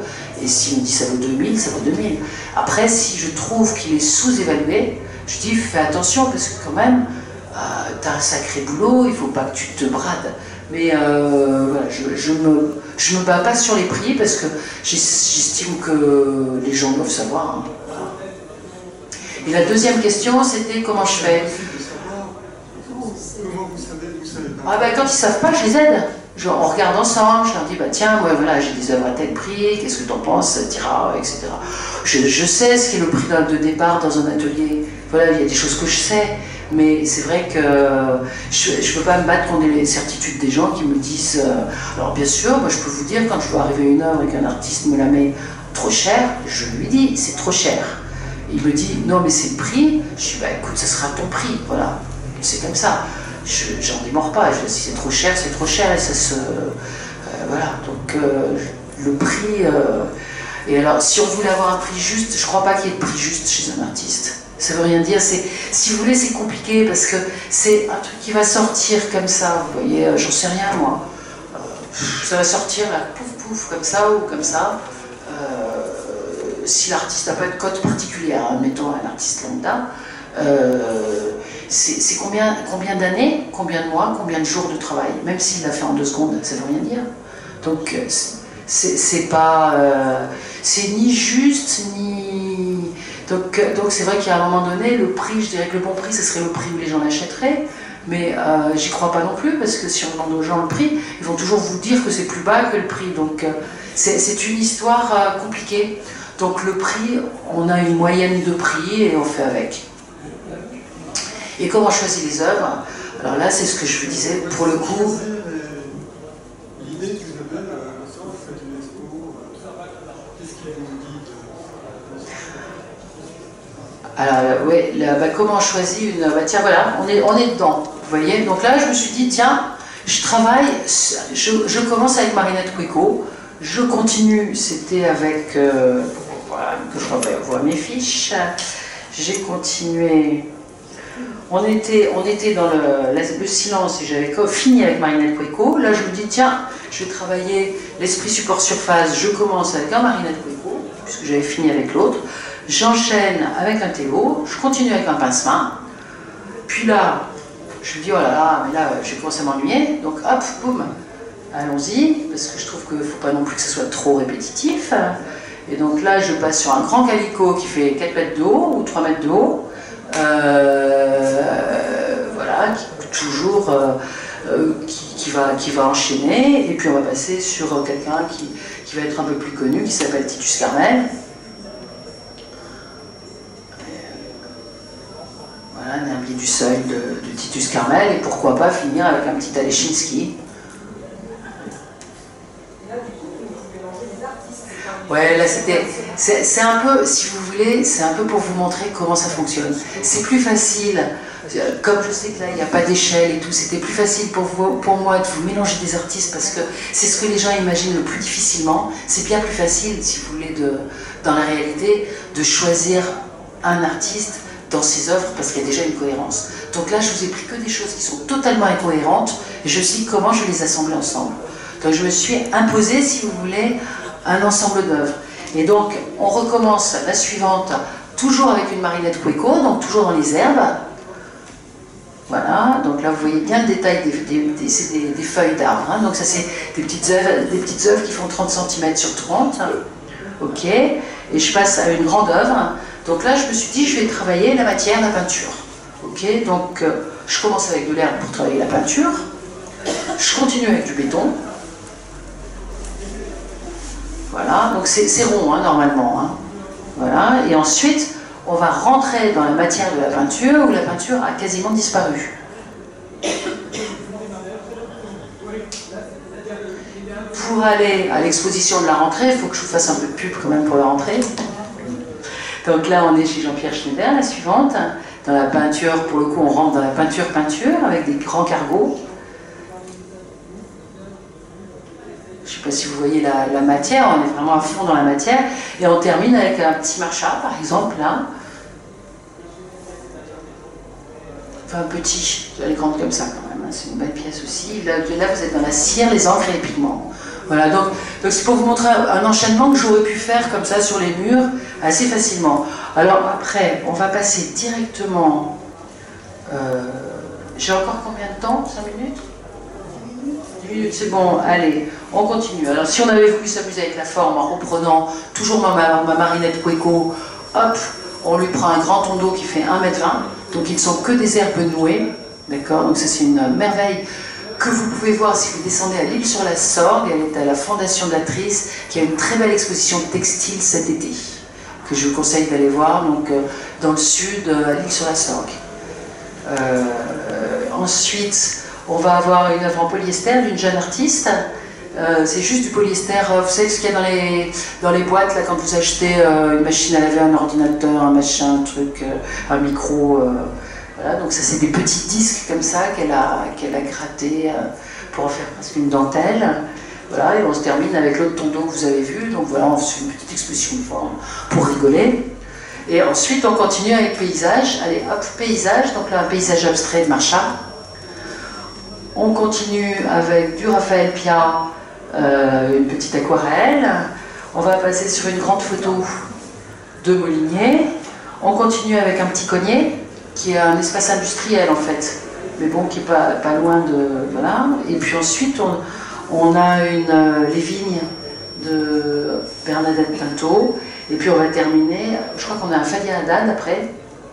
Voilà, et on va terminer avec un petit bonnet, un grand bonnet d'ailleurs, dans, du, dessin. Donc voilà, c'est pour vous montrer des enchaînements, je ne sais pas si ça vous plaît, mais c'est des enchaînements euh, qu'on peut bâtir comme ça. Donc après, si euh, je vais vous montrer quelques images d'exposition pour le coup. Comme ça, vous verrez un peu la galerie, comment on expose. Là, ça, c'est une exposition de Tello. Donc là, ça, c'est un artiste, une exposition. Là, c'est Marinette Cueco que vous avez vu. Je vous ai remis quelques artistes que je vous avais montrés avant hein, pour que vous y retrouviez un peu. Donc au sol, vous avez du buis. Et tout le reste, c'est des entrelacs, donc des, des, herbes qui sont nouées et punaisées directement sur le mur. Ici, vous avez un mélange de Pinceman, vous avez vu tout à l'heure, et de Rivemal, qui est un artiste qui, qui, fait des collages en fait. Donc, il fait des œuvres de 2 mètres sur 2 avec des collages à un très très onirique. Et donc, on a mélangé vraiment ces deux artistes c'est Christian Bonnefoy, qui est, artiste, qui a organisé cette exposition-là. Là, c'est un, une exposition de tous les artistes de la galerie. Donc ça, c'est une scénographie que moi j'ai faite avec euh, des artistes très différents, parce que ça m'amuse toujours. Donc si vous regardez sur la gauche, vous avez de la figuration, vous avez euh, Titus Carmel, vous avez Monique Tello, vous avez Pincemin. Chaque mur a un artiste différent, en fait. Et donc là, je vais vous faire circuler dans la galerie avec cette exposition-là. Voilà, donc là, vous rentrez, vous avez un portrait de Chai à gauche, vous avez du Tello sur la droite, du Titus Carmel au milieu, et on va avancer. Donc il faut imaginer que là, vous êtes dans un sens, donc sur la droite du pince-main, tout au fond, Bernard de Courchelles, et sur le mur de gauche, euh, Gilles de Boule. Et là, je me suis dit, bon, il faut que je leur montre tout, donc il faut que je leur montre la matière. Comment est-ce que je vais faire pour faire exactement le contraire de ce que je viens de faire? Et donc vous allez voir dans l'image suivante, je suis partie sur René, donc vous êtes sur les murs inverses, hein, c'est le dos des murs. Donc là, je suis partie sur la matière, c'est-à-dire que de n'importe quel endroit où vous êtes dans la galerie, vous avez une vision qui vous amène chaque fois des surprises. Moi, j'aime bien quand, quand c'est à, à, à, petit bout comme ça, on se, on se balade et on se dit ah bah tiens, voilà, c'est, on n'imagine pas les mettre ensemble et puis ça fonctionne très bien. Donc si on continue après ça, c'était une exposition plus conceptuelle où il y avait une fille qui avait tendu des voiles dans le noir et fait des projections. Donc c'était pour vous dire que voilà, il y, a, un peu de vidéo de temps en temps euh, sur, euh, sur ça. Ensuite, on a un sculpteur argentin euh, qui a refait le fronton de la cathédrale de Reims pour vous situer, donc avec des, des grandes des grandes œuvres en pierre. Et là, il, son, son œuvre d'artiste est vraiment du bois brut, avec, euh, il travaille beaucoup sur les, sur, sur les poèmes de Borges, euh, sur l'autre, moi-même, le double, etc. Donc là, on rentre dans le portrait, parce que je ne vous ai pas montré beaucoup de portraits en fait. Ensuite, on a Christophe Holler, donc un garçon de l'Est, avec des peintures très dures, des portraits très durs, mais très très puissants. Et ici, ça c'était une des dernières expos, c'était euh, dans dans la deuxième partie, là, puisque je vous ai dit que je faisais beaucoup de découvertes. Donc ça c'était une découverte avec euh, les fleurs de Laurence Janest. Ici c'était les nuits de Marqueschi, qui a exposé l'an dernier au Grand Palais, euh, dans l'exposition Rodin. Voilà, donc avec donc il travaille, il brûle tout en fait, lui. Donc tout est, tout est brûlé, suisse, cire, etc. Voilà. Puis ça c'est une petite découverte de Bernard de Courchelles, une petite série pour vous montrer qu'on fait aussi des petites, euh, des expos plus courtes euh, avec des petits dessins donc d'architecture. Il avait fait des barrages aussi. Voilà. Donc tout ça, euh, ça c'est une fille qui est en train de réaliser une installation. Sylvie de Merville, elle a travaillé sur les fleuves et l'eau, en fait. Et donc elle est dans la sculpture et le métal, et donc euh, je me suis dit que c'était rigolo d'en avoir une sur une échelle quand même. Parce qu'on a l'impression que tout ça, ça arrive par magie, mais pas du tout. Hein. C'est quand même trois jours complet, hein, généralement. Là, c'était un petit exercice de street art avec Mystique et VLP. Et ça, c'est pour vous attirer à Noël. Et euh, quand, je fais mes, quand petites promos avec mes petits fonds de tiroir que je vais chercher chez les artistes, que je chine, voilà, ça tient. Donc, euh, pour vous dire, voilà, on a aussi plein de petites choses rigolotes. Voilà. Et je termine sur les deux expos actuelles. Donc, Didier Agèche, donc peinture avec euh, de la résine. Lui a travaillé de la résine et des. Et je ne suis pas rentrée dedans, je me suis dit que si vous avez envie, vous viendrez voir. Je, je sais pas, que j'avais pas. Voilà. Et ça, c'est Monique Théo, donc qui, qui a exposé, elle, euh, il y a deux ans, euh, au musée de Poitiers. Elle avait une grande expo qui a duré 4-5 mois, je crois, à Poitiers, avec des œuvres assez monumentales. Et vous avez vu pas mal de petites œuvres d'elle aussi. Voilà, avec ma petite carte. Voilà. Ça vous allez Voilà.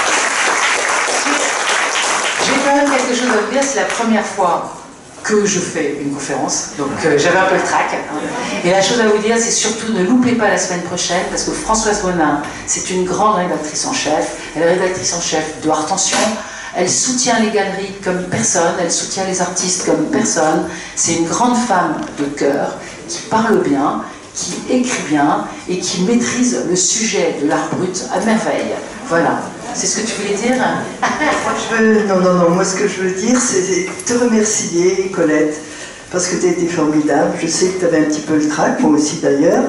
Et je voulais dire aux personnes qui sont là qu'il y a sur la table des cartons, plein de très jolis cartons d'invitation de l'expo en cours et des expos précédentes. Alors euh, servez-vous et merci encore d'être venus nombreux. Alors, euh, t'inscrire pour... Ah oui, oui, oui, oui, oui. euh, donc, si vous voulez mettre vos mails sur ce petit carnet pour les expos, pour que Colette puisse vous envoyer des cartons d'exposition, eh bien, on, on- le, laisse là, vous faites circuler. Voilà. Je pense qu'on peut remercier vivement Colette parce que ça a été formidable.